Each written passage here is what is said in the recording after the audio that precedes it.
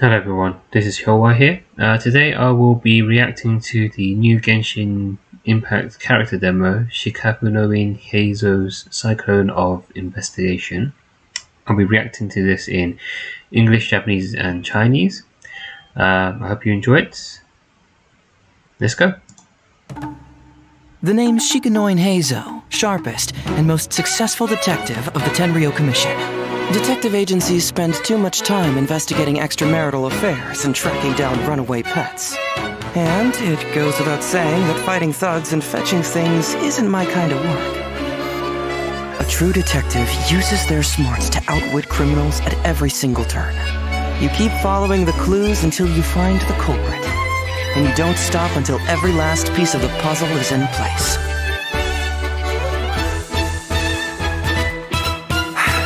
There are always those people who resort to violence at the very last second, as if that'll somehow solve their problems.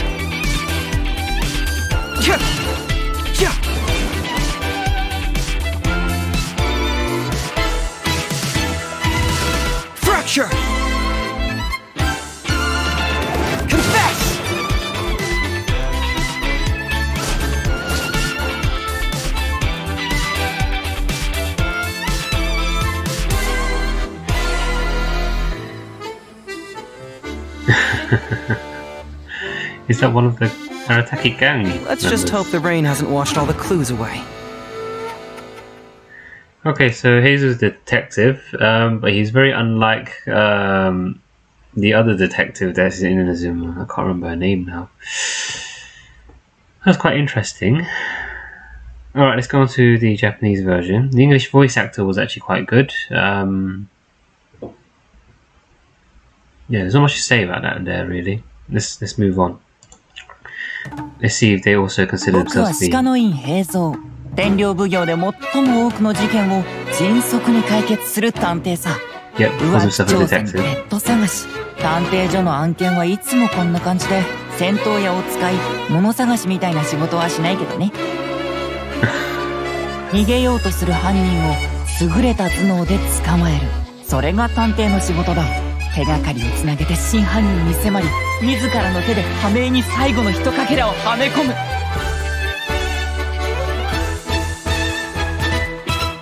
まったく最後の最後で武力を使って抵抗する人がいるんだよね。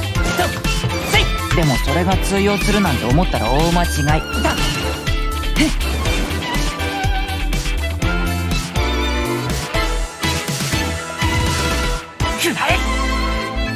I assume that it's definitely his skill and not his.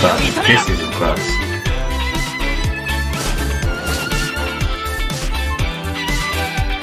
So one of these similar to Yang Fei in terms of um, his attacks. So she has like a free charge.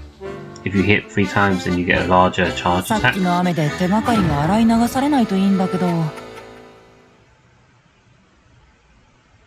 Okay, let's go to the Chinese one. Let's see how this sounds. 我叫落野院平藏，是天岭奉行里破案最多最快的侦探。调查外遇、寻找宠物，从侦探涉及到的案件总是那么简单，你懂的。打架、跑腿、找东西之类的活，我是不做的。侦探就该用脑力摧毁那些犯人企图逃脱的侥幸，把线索串联起来，一步步找出真凶，直到亲手为拼图嵌上最后一块。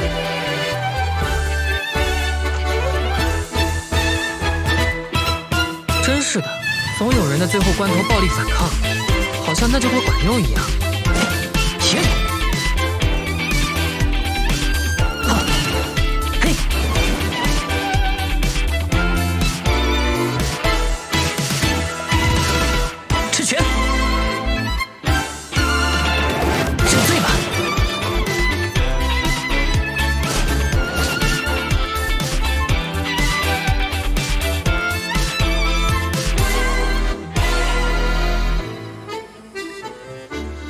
！two dogs are really cute. 刚才那场雨，可别冲散了线索啊。Hmm, I, I feel like the Chinese one's a bit lacking over here. So this part where it's supposed to be confess. How's that sound in Japanese?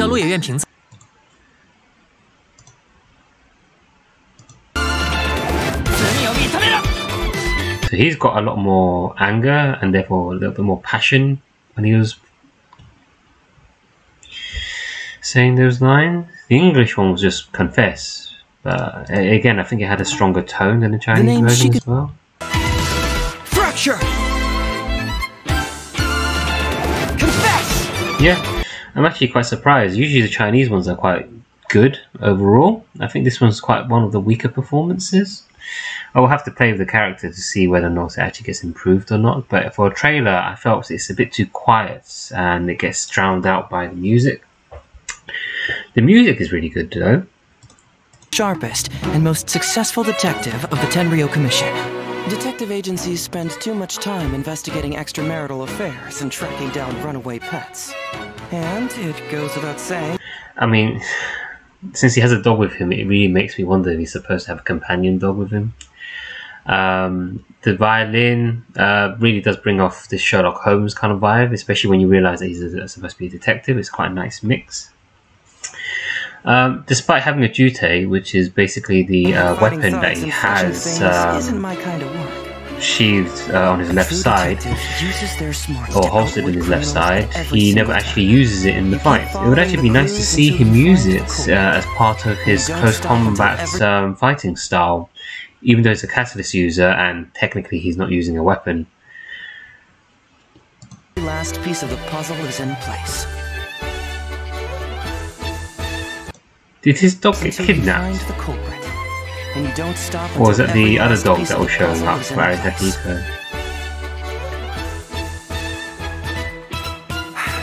There are always those people who resort to violence at the very last second, as if that'll somehow solve their problems.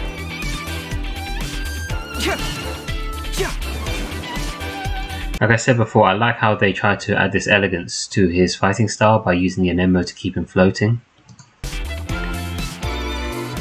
This charged attack is interesting as well. That would add some new dimension to the playstyle. I'm assuming that his C or his constellations will probably speed up the charge on this attack. I'm not too sure how this works. I mean, the enemy doesn't fly back, so it doesn't seem to have a knockback effect. So is it supposed to apply like a swirl effect? But then it's not an on is it an ongoing swirl effect like Kazuha's or Venti's or does it disappear?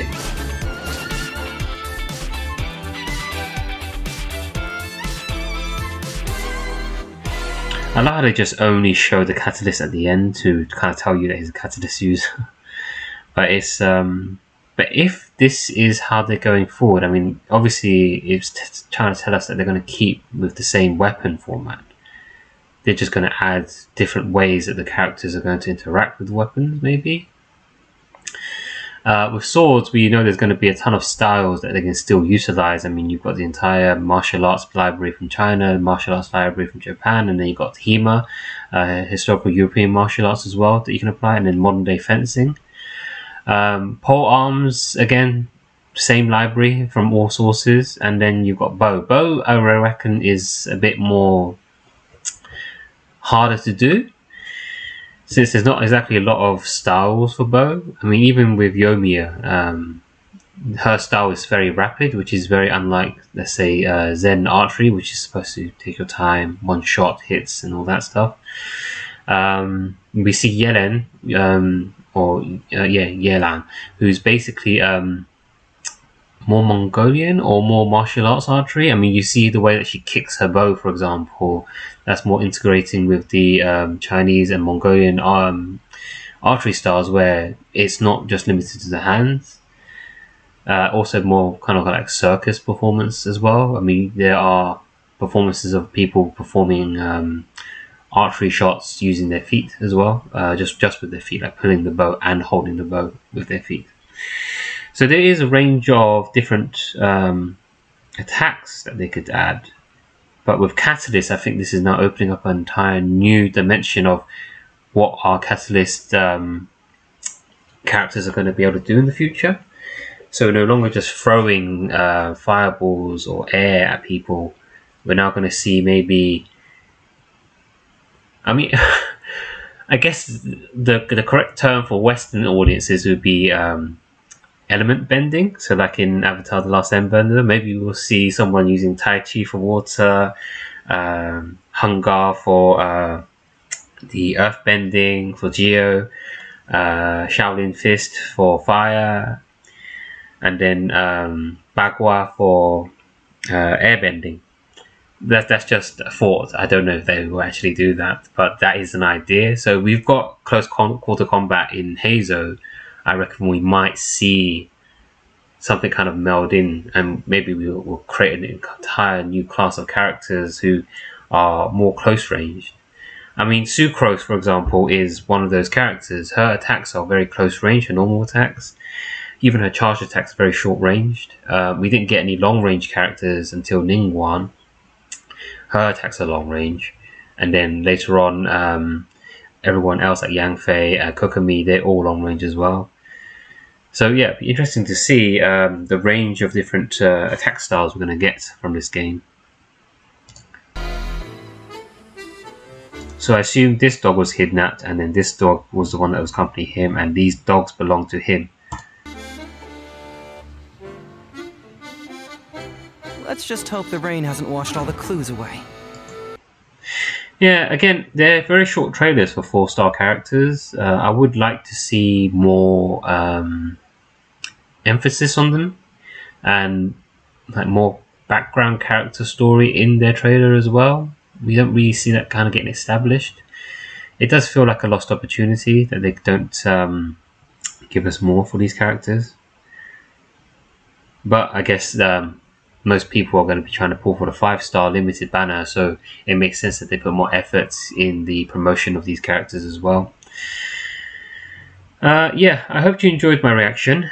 Um, if you liked this video, please like the video and um, please subscribe. Uh, I'm trying to reach a thousand followers. Uh, that's the minimum you need to get monetized. Uh, don't even know if any of this content can get monetized. And uh, leave any comments below on how I can improve these videos or if you have any comments or any suggestions that you would like to make yourself. Thank you for watching. Bye.